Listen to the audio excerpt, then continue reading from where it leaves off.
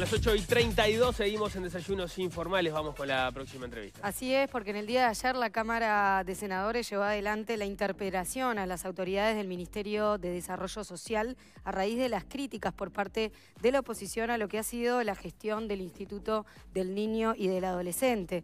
El llamado de los senadores del Frente Amplio estuvo enmarcado en el fallecimiento de una adolescente embarazada que se encontraba justamente bajo la órbita del INAU y que además era víctima de explotación sexual. La bancada Frente Amplista pidió así la renuncia de las autoridades del INAU que fueron respaldadas por la coalición. Para hablar entonces sobre lo que dejó esta interpelación, recibimos ahora a Guillermo Fosate, presidente del INAU. Muy buenos días y gracias por estar aquí. Buen día, un gusto estar acá. Bueno, hay mucho que se puede decir. Lo primero que yo comenzaría por señalar es que tanto interpelante, la senadora Silvia Nane, como interpelado, y en el interpelado voy a hablar de mi persona, nomás porque estaba en el ministerio también, y es, el directorio del INAU, no solamente el presidente del INAU, y mucho menos un presidente que tiene ejercicio 2024, soy yo, ¿no? Por la, por la fecha en la que ingresé a la institución, pero me hago cargo de, de todo lo que eso significa. Eh, lo primero a señalar es que fuimos a la interpelación con posiciones completamente diferentes.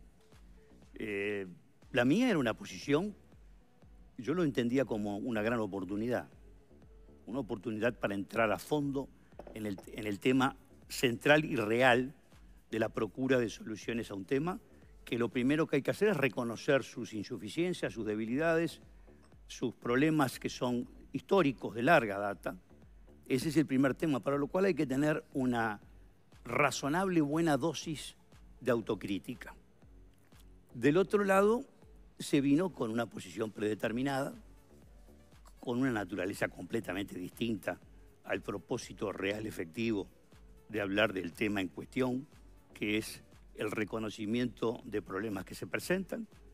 Se desencadenó todo esto por una situación trágica, lamentable en Rivera, de la cual hay que analizarla, ver en qué medida se ajusta estrictamente a protocolos de funcionamiento, en qué medida no lo hace, si caben responsabilidades y actuar acorde, pero entenderlo como un disparador. Sabido es que mucho de lo que podría señalarse como problemas generados en los últimos años tienen raíces históricas y por cierto son problemas que se han dado igual, semejante o de mayor magnitud en años anteriores. Este es el primer tema. Y esto quedó muy puesto de manifiesto en, toda la presentación del día de ayer, seguramente con el malestar de eh, la senadora interpelante. Lo digo con respeto hacia ella, pero francamente este, yo recibí un poco de desilusión porque aspiraba a una discusión mucho más este, fértil, mucho más eh, ingresando en los temas centrales. De hecho, mi larguísima exposición de una hora entera que que tuve eh, una vez que eh, tuvo su hora la senadora, este, procuré claramente expresar todas las situaciones. Allí hay un reconocimiento de todos los puntos críticos que están instalados. Consumo de sustancias, salud mental, primera infancia, pobreza infantil, todos los temas que en definitiva los vemos, entre otras cosas, en las agendas políticas de todos los partidos políticos. Por eso están y por algo están. Entonces, eh, decir concreta, tenemos una realidad concreta, hay que mirar la literatura comparada, hay que estudiar. La senadora ayer me criticó un poquito, yo en realidad no voy a subestimarla, pero vaya, hay que estudiar, hay que conocer qué funciona, qué no funciona, hay que entender concretamente para poder abordar el análisis de problemas que tienen en materia de gestión y en materia de situaciones instaladas de hace largo tiempo, que tienden aún más de lo mismo a lo largo del tiempo, la primera manera de poder abordar con inteligencia el tema es efectivamente tratar de conocer concretamente, bueno, qué dice la evidencia empírica en cuanto a programas específicos que muestran resultados. Mirar la política comparada internacional, ver los impactos, cuál es la realidad hoy en el mundo, qué dejó la pandemia. La Organización Mundial de la Salud, UNICEF, cuál, el organismo que ustedes quieran elegir, cuando hace estudios concretamente hablan de aumentos de explotación sexual, eh, del abuso sexual infantil, de los problemas de salud mental incrementados a punto de partida de la pandemia. Pobreza, cuando se habla de la pobreza. Canadá ranquea arriba del todo en todos los estudios de calidad de vida que siempre se hacen. tuvo un aumento significativo de la pobreza desde el 2020 al 2021. Toda la Unión, toda la Comunidad Europea se presenta en estos problemas en sí. Entonces, eh, ¿esto significa minimizar o utilizarlo de excusa? De ninguna manera. Si hay algo que mostró mi larga exposición de la mañana, es una capacidad para una buena dosis de autocrítica. Algunos dirán... ¿Cuál es, ¿Cuál es la autocrítica respecto al caso concreto de Rivera, que fue el disparador de la interpelación? Con respecto al caso de Rivera, es un hecho lamentable que tiene... Que, que lo que cabe primero decir es que es lamentable. Después analizar concretamente todo lo hecho. Pensemos concretamente en el hecho. El 10 de julio del 2023 ingresa al amparo del INAU por decreto de la juez interviniente. Ingresa y tiene 17 salidas no autorizadas en el marco de un corto plazo, un corto tiempo. Hay artículos, hay trabajos del 2008, del 2010 que muestran el problema de las salidas no autorizadas. En aquel entonces, en principio, se hablaba de fugas. Luego se entendió que fugas corresponde aplicarlas a cuando se está privado de libertad. Por ejemplo, el inicia, pero no a cuando no se está privado de libertad. Y entonces aparece en el 2004 el concepto de salidas no acordadas o salidas no autorizadas. Ahora, lo cierto es que es, francamente un tema. Hay un, hay un porcentaje de esas salidas no autorizadas que se traducen en riesgos. la senadora señalaba con sorpresa un comentario mío con respecto a ciertas conductas del adolescente que eh, llevaban a que ella misma se terminara exponiendo a riesgos. Usted, dijo, y ella lo, remarcó, y usted después ratificó esa, declaración, de que tenía una conducta en la cual no medía a lo que se exponía en materia de riesgos. Yo, de vuelta, con respeto y que me disculpe la senadora, pero parece tener un desconocimiento profundo del impacto negativo que tienen el maltrato, las experiencias de vida. Y como yo tengo muchos años de estudio en estos temas, no es culpa del adolescente, es simplemente que es consecuencia también de las trágicas circunstancias a las cuales ha estado pasando por su vida, que la termina por colocar eventualmente en conductas disruptivas, en no medir ciertos riesgos y, que de hecho quedó expresado en la propia eh, audiencia que tuvo con la jueza, la jueza quedó en el primer informe que yo recibí, quedó este, expresando estas características. ¿no? Lo interesante es que... Los riesgos no deben ser em, este, evaluados por el, por el, organismo que está a cargo de ese menor. Eh, claro que tiene que ser. Esa, es una, esa es parte de la autocrítica. Yo lo mencioné concretamente en las propuestas que he estado presentando, que salieron aprobadas por eh, mayoría en el directorio, no por unanimidad porque no recibieron el apoyo de la representante de la oposición, en el cual uno de los aspectos que destaco es precisamente la necesidad de medir y tener perfiles de riesgo y al mismo tiempo superar ciertos temas que están instalados en la institución. Por ejemplo, hay centros residenciales que combinan edades distintas, combinan complejidades diferentes. Eso es inaceptable. Eso es un aspecto que hay que corregirlo. Por eso, y volviendo al punto concreto, y, luego hablamos de, la situación en general, porque esto parece bastante claro que es un problema que se repite en, otros puntos del país, la autocrítica sobre cómo se accionó en ese momento en concreto, ¿por dónde pasa? La autocrítica allí, que podría entenderse, bueno, que depende si mirarla como autocrítica es, bueno, ¿qué se puede hacer ante las salidas no autorizadas? Uno podría decir, bueno, se hizo poco, ¿por qué 17 salidas no autorizadas? Este, ¿Cuáles son los dispositivos concretos y la capacidad de acción concreta que se tiene frente a este tema? Ahora, cuando ustedes ven los relatos diversos actores, el presidente del sindicato del INAU, por ejemplo, José López, al decir igual se escapan por el techo, ¿no? Es decir, y ante situaciones de esa naturaleza, yo le, he hecho, le hice estas preguntas este, a, varios actores. Cuando le hice esta pregunta a José López, y tuvo una pausa de silencio, y luego le pregunto, ¿pero qué hace el funcionario? ¿Son los funcionarios capacitados apropiadamente, porque se puede ser un buen funcionario y no tener el perfil para poder estar abordando una situación de crisis o una situación de enfrentamiento en ese momento que se hace difícil. Y eso no lo hace un mal funcionario, simplemente lo hace un funcionario que no tiene las características para ese perfil. eso es responsabilidad de las autoridades, ¿no? Eso es responsabilidad de las autoridades, en todo lo que tiene que hacer con capacitación y todo lo que tiene que hacer evaluación. Y son cosas que efectivamente hay que mejorar. Yo podría hablar largo rato de las cosas que hay que mejorar. No, no, no. no tengo el más mínimo reparo en hacerlo. Ahora, fíjense, fíjense la respuesta que yo recibo por parte de José López en ese momento. Pero ¿qué es lo que pasa allí? Y bueno, son espectadores. ¿Cómo, ¿Cómo, que son espectadores? Y sí, porque si no, los acusan de maltrato. y si los acusan de maltrato, entran en, investigación administrativa, salen de la función, durante todo el tiempo en el que están se les deriva a otro tipo de funciones, dejan la atención directa en la que están. Cuando termina, hay un porcentaje, estaban con 85 funcionarios en ese momento que le hago la pregunta. 85 funcionarios cuando tenemos temas de funcionarios que necesitamos. 85 funcionarios de los cuales hay un porcentaje, que efectivamente la razón del maltrato estaba bien justificada. O sea, el proceso de investigación se entendía y tenía causa. Pero la amplia mayoría no. Ahora, cuando regresan después de todo ese proceso, que entre otras cosas, como sucede en el INAU, y esto es una cosa que hay que corregir, la materia de gestión, todas las cosas llevan procesos demasiado largos. Es decir, tiene inercias lentas en todos sus procesos.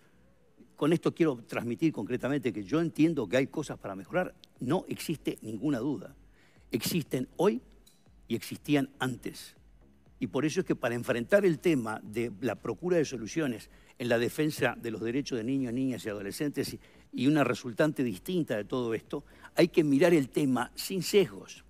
Ayer se presentó una situación de un interpelado parcial, yo hice un pool de interpelados, con una posición abierta, de transparencia concreta para poder mirar el tema en toda su, su magnitud, y del otro lado una posición enteramente predeterminada.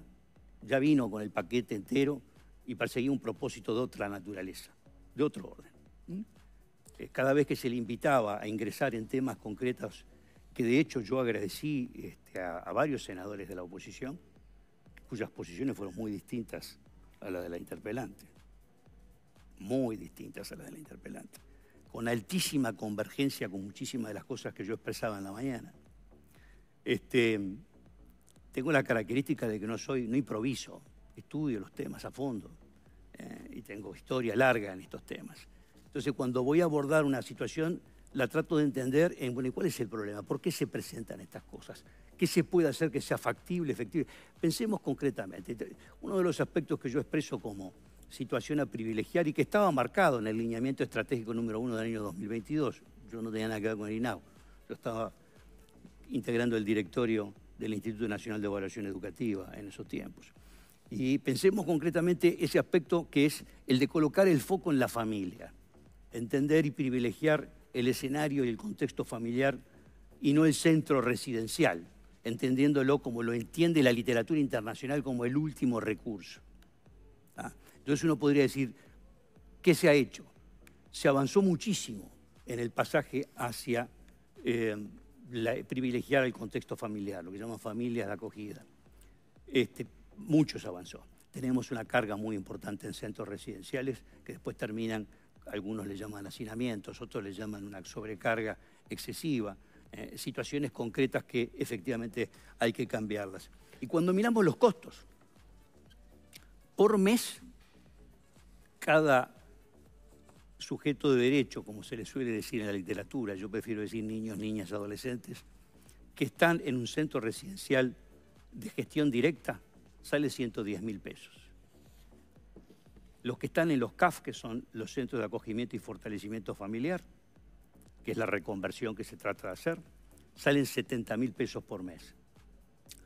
Los que están en acogimiento familiar, en sus distintas modalidades, reciben 18 mil pesos por mes los que reciben, los que están en la familia de origen, pero reciben un apoyo que desde el año 2021 se aprobó por el directorio, tienen aproximadamente 8 mil pesos por mes cuando se trata de alguna manera. Siempre se ¿A dónde, está apuntando con eso?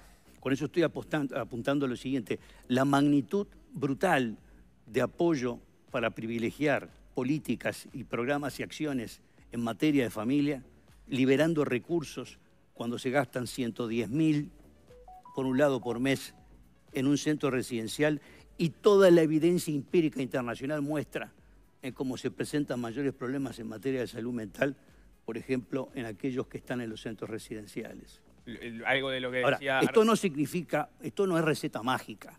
Esto significa tener que hacer muchas cosas a nivel de las familias.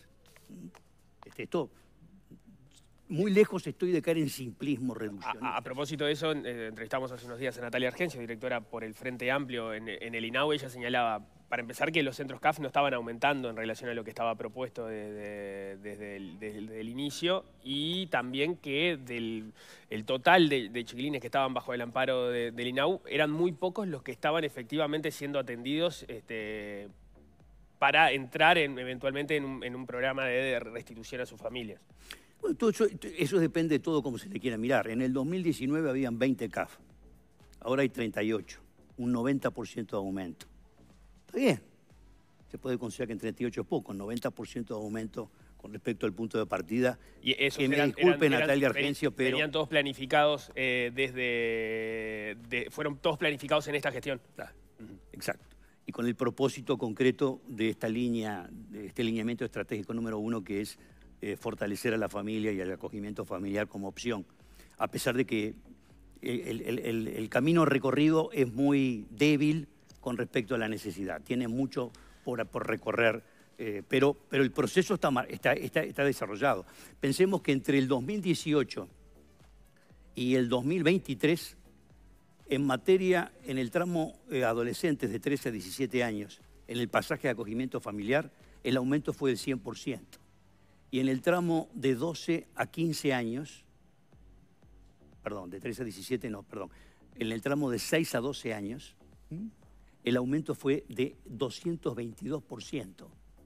Entre el 2018 y el 2023, el pasaje a acogimiento familiar.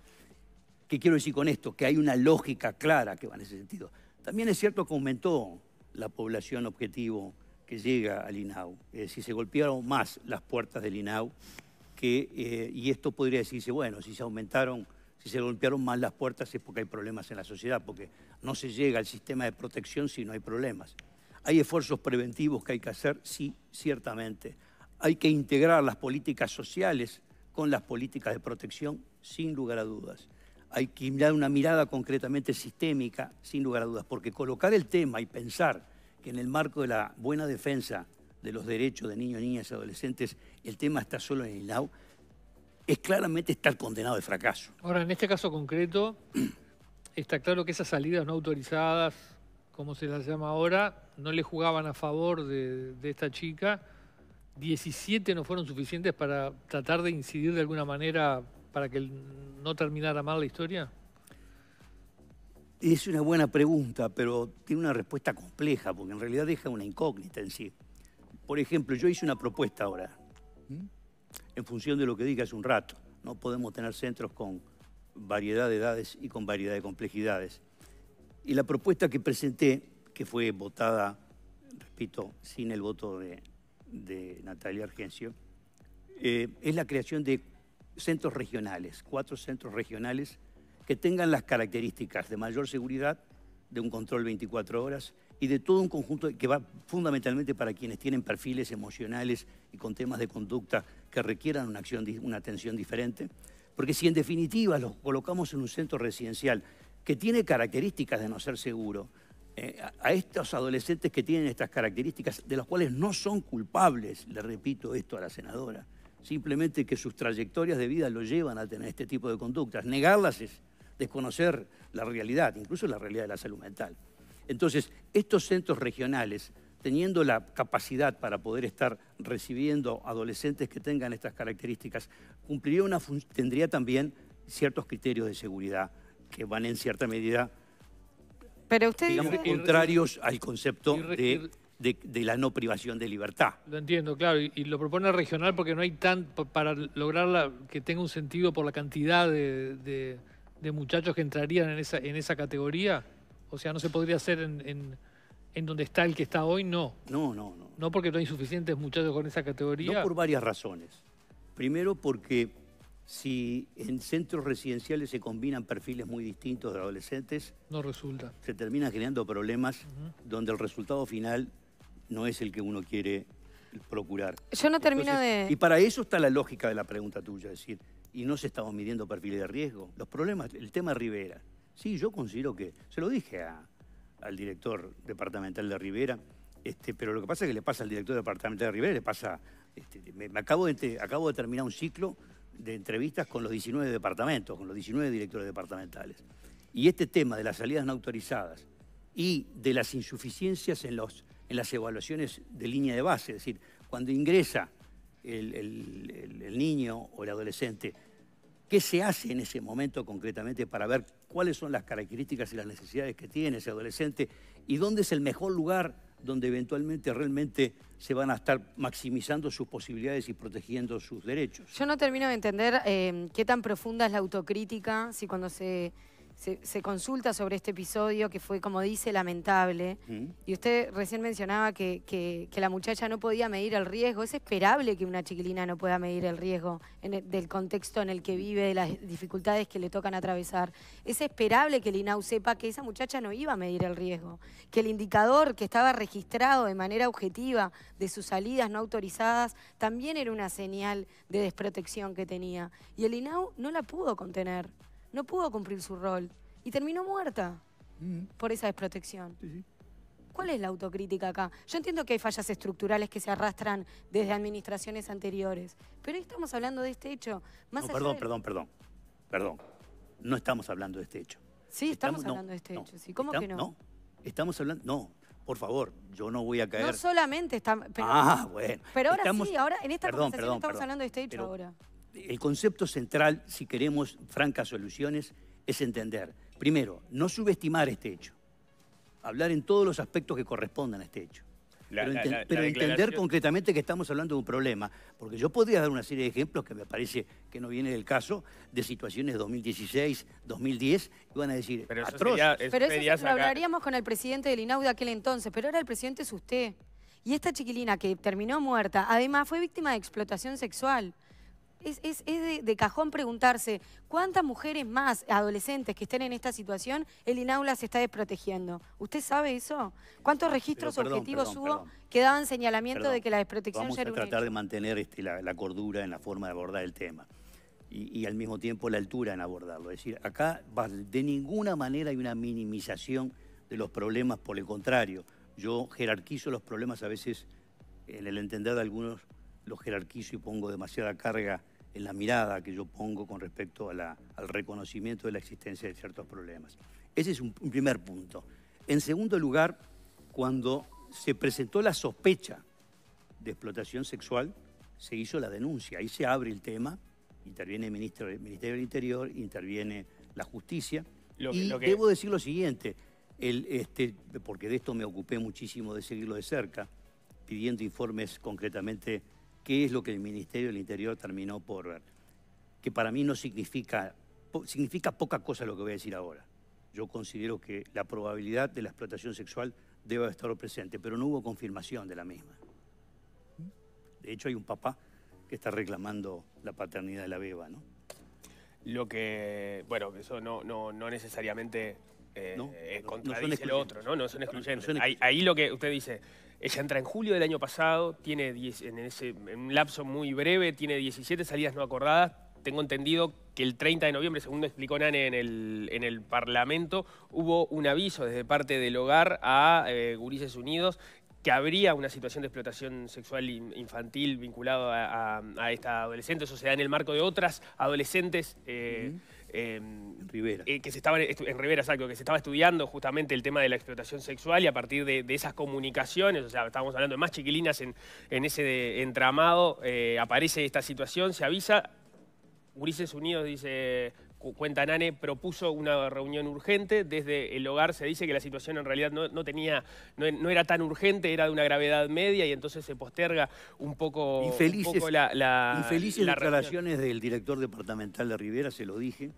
Eh, me reconoció su, su falta de criterio en ese momento para expresarse pidió disculpas. A propósito de decir que tenía una gravedad media cuando se estaba denunciando una situación de explotación. Las primeras expresiones que tuvo que realmente no, no corresponden de ninguna manera, son censurables sin lugar a dudas. Parecen más que censurables porque son, gravísimas, ¿no? Eh, en el sentido de que estamos reconociendo que el jerarca que se tiene que estar ocupando de manera departamental de un departamento que tiene eh, evidentes problemas con este asunto, eh, que no, pueda ver la gravedad del asunto con las chiquilinas que están bajo su custodia o que el INAU está intermediando en las situaciones con las familias, parece más que infeliz declaración, parece un problema de aproximación al tema muy grave.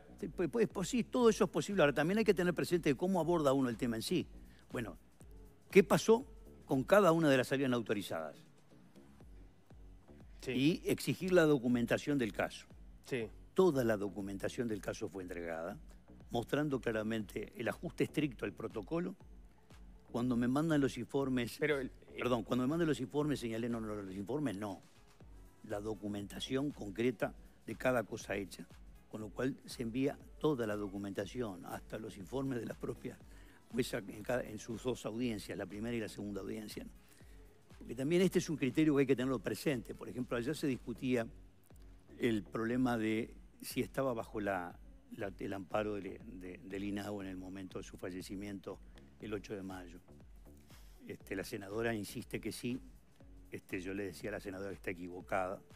Este, el, el 25 de marzo la segunda audiencia, 24, perdón, de marzo, en la segunda audiencia, la juez interviniente le da la tenencia, le, devuelve la tenencia a la madre, que pasa entonces la adolescente a vivir con la madre. Y el INAU se queda monitoreando le, la Le retira el amparo, así está escrito, ¿ah? tanto que le tuve que preguntar a la senadora, sí, porque yo lo leí, le usted quiere que se lo, se lo, se lo presente y se lo mande, le, usted leyó el informe de la, de la, de la juez interviniente, le retira el amparo al INAU y le pide al INAU que siga el monitoreo de la, de la situación concreta, por eso es que la acompañan en cada uno de los controles de embarazo y demás.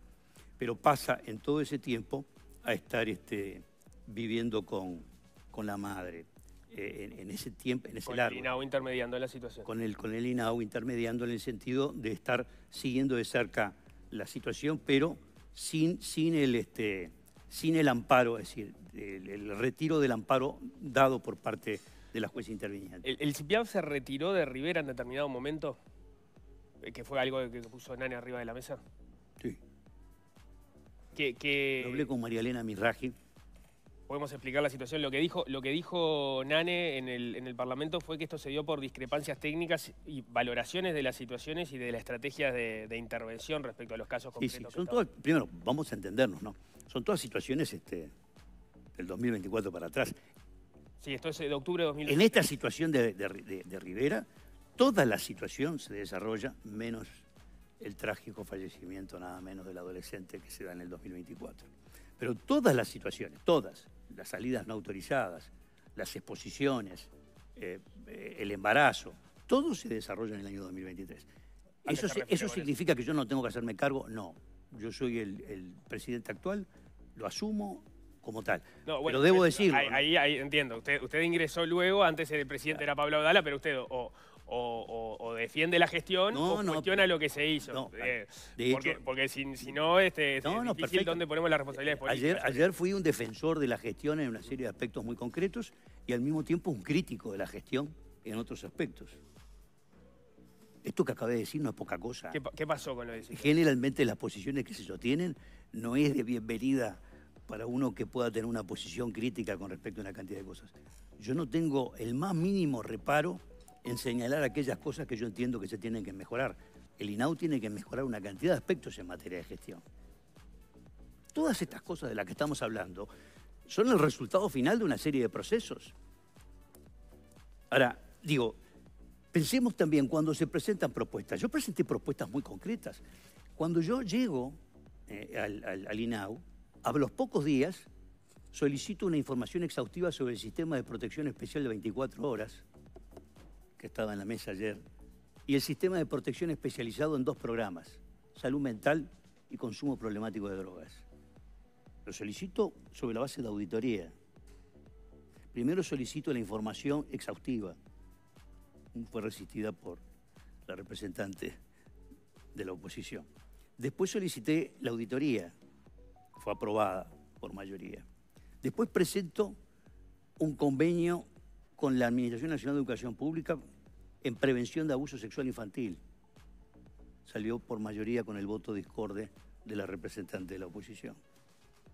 Después presento todo un programa en materia de salud mental, festejado por el doctor Marcelo Sosa, que está al frente de ACE, pidiendo que se lo haga llegar al directorio para impulsarlo, que es el de los centros regionales que acabé de hablar, votado por mayoría sin el voto de la representante de la oposición.